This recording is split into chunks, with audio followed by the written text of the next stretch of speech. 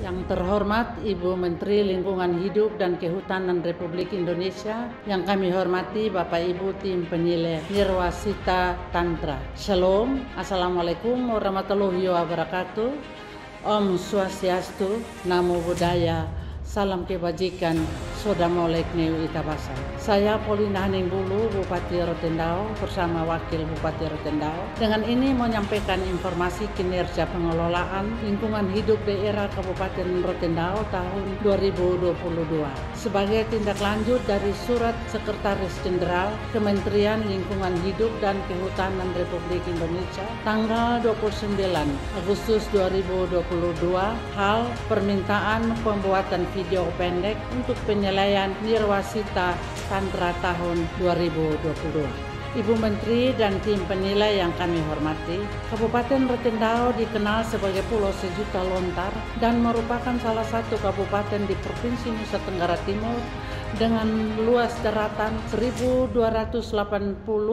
10 km persegi yang tersebar pada 190 70 dihuni dan 120 tidak dihuni. Kabupaten Rotendao memiliki 11 kecamatan serta 112 desa, 7 kelurahan dan 22 desa persiapan.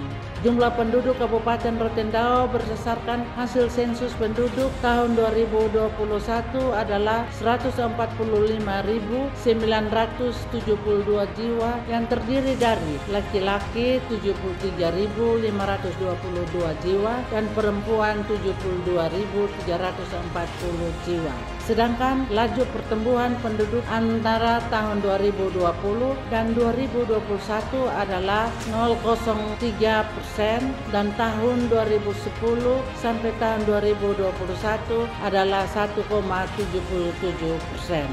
Pemerintah Kabupaten Rotendao melalui Dinas Perumahan, Kawasan, Pemukiman, dan Lingkungan Hidup telah merumuskan tiga isu prioritas lingkungan hidup antara lain satu, belum optimalnya pengelolaan sampah, peningkatan volume sampah diakibatkan oleh kurangnya kesadaran dan partisipasi masyarakat dalam mengelola sampah. Pengelolaan sampah di Kabupaten Rotendao masih terpusat di wilayah perkotaan yang meliputi semua jalan utama yang ada di wilayah Kota Baa yang merupakan ibu kota Kabupaten Rotendao. Sedangkan untuk kecamatan lainnya masih melakukan pengelolaan sampah secara mandiri yaitu dibakar.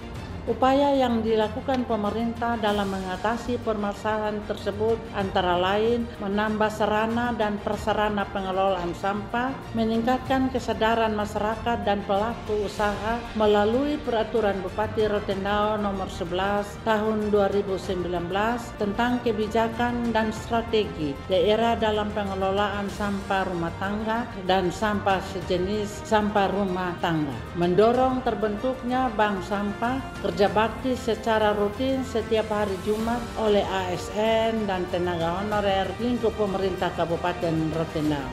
Dua, penurunan kualitas air permukaan potensi hidrologi Kabupaten Rotendao masih terbatas. Potensi air permukaan terdiri dari sungai dan danau. Secara kuantitas, Kabupaten Rotendao memiliki 31 mata air, 48 sungai atau kali, 131 embung irigasi, 6 danau, dan 61 bendungan. Berdasarkan data hasil pemantauan yang dilakukan oleh Dinas Perumahan, Kawasan Pemukiman, dan Lingkungan Hidup Kabupaten Rotendao yang dilakukan pada musim hujan dan musim kemarau di enam titik sungai yang dijadikan sampel untuk pengujian kualitas air, maka indeks kualitas air pada tahun 2022 tahap 1 menunjukkan tingkat pencemaran ringan dengan indeks pencemaran sebesar 50,0 kosong kosong. Beberapa upaya yang dilakukan oleh pemerintah Kabupaten Rotendao dalam mempertahankan kualitas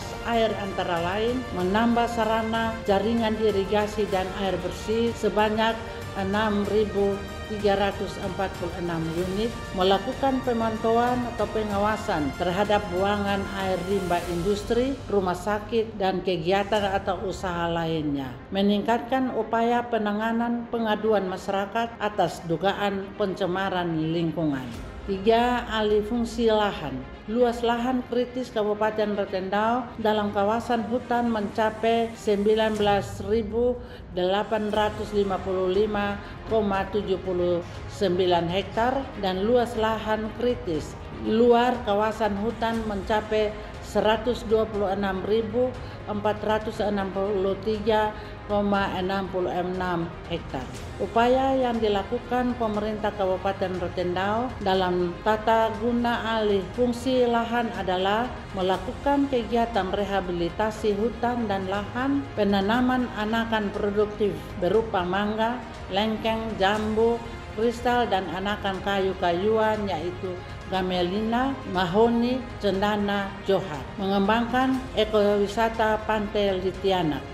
D. Melakukan aksi penanaman merungga atau kelor dengan sistem agroforestry yang sasarannya pada desa stunting, melakukan kegiatan swakelola konservasi tanah dan air untuk mencegah longsor di lahan masyarakat berupa pembuatan dam, penahan, dan gali plak. Ibu Menteri dan tim penilai yang kami hormati. Demikianlah beberapa hal yang dapat saya sampaikan dan telah menjadi komitmen pemerintah daerah Kabupaten Rotendao dalam memperbaiki kualitas lingkungan hidup. Dengan memperhatikan isu prioritas lingkungan hidup daerah dan melaksanakan pembangunan yang berwawasan lingkungan sehingga kiranya dapat menjadi perhatian dari Ibu Menteri dan tim Nirwas Wisata Tantra tahun 2022.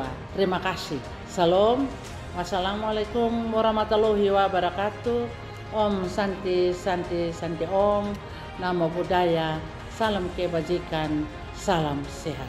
Salam yang kami hormati Ibu Menteri Lingkungan Hidup dan Kehutanan Republik Indonesia yang kami hormati Dewan Juri Penilaian Nirwasita Tantra yang akan menilai kegiatan kebijakan dan inovasi pemerintah daerah Kabupaten Rotendao. Saya Alfred Saudila, Ketua DPRD Kabupaten Rotendao, akan menyampaikan beberapa informasi terkait tugas dan fungsi DPRD Kabupaten Rotendao dalam mendukung pengelolaan lingkungan hidup di Kabupaten Rotendao.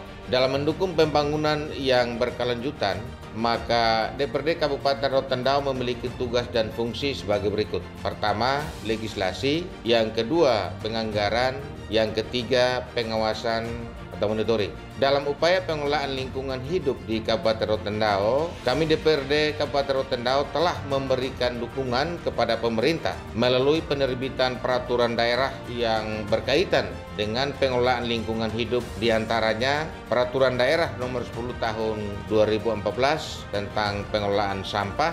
DPRD Kabupaten Rotendao juga memberikan dukungan anggaran yang memadai untuk peningkatan kualitas lingkungan hidup melalui penyediaan sarana dan prasarana pendukung pengelolaan sampah, penyusunan dokumen daya dukung dan daya tampung lingkungan hidup di Kabupaten Rotendao tahun 2022 dan anggaran untuk pemantauan dan pengkajian kualitas air. Dalam rangka monitoring dan pengawasan DPRD Kabupaten Rotendao secara rutin melakukan reses ke daerah pemilihan masing-masing untuk menampung aspirasi masyarakat dan menindaklanjuti laporan masyarakat yang langsung ke bupati atau ke organisasi perangkat daerah terkait dengan layanan pengaduan kerusakan lingkungan dan layanan persampahan. Demikian yang dapat saya sampaikan dan saya sangat mengapresiasi pemerintah Kabupaten Rotendao dalam menyusun dokumen informasi kinerja pengelolaan lingkungan hidup